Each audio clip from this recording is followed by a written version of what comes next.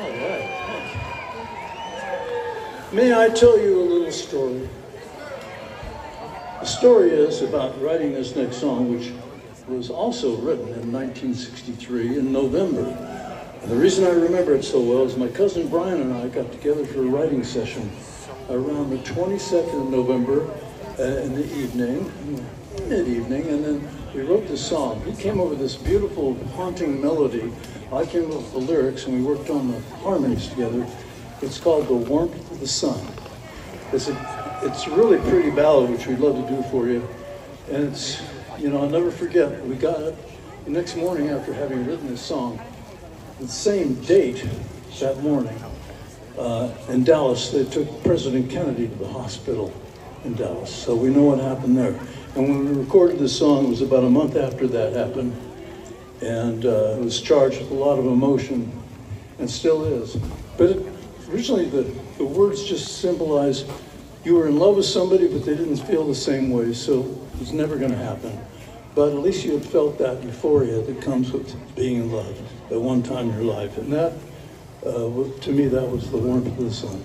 Anyway, so I hope you enjoy the song, and I wanted to dedicate it to my writing partner on that song, my cousin Brian Wilson.